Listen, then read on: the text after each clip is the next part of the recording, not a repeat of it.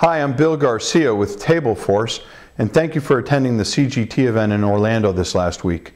I just wanted to take a quick moment to recap what I talked about. I had three basic principles. Remember, first you need to try, then you need to plan, and then you need to raise the bar. That's what we call the basics. In any negotiation, you're going to need to try, plan, and raise the bar. The second thing I talked about is the bargaining. We call it the loop. Remember, write down what you're going to yield, low value items, and what you're going to shield, high value items, and then trade them.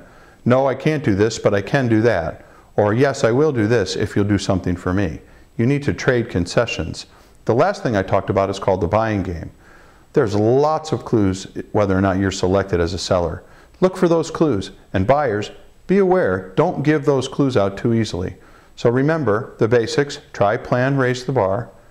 Also remember the loop or bargaining, and then the buying game. Thanks again for attending CGT Orlando. We hope to see you at the CGT event in New York City next summer, June 4th through June 6th.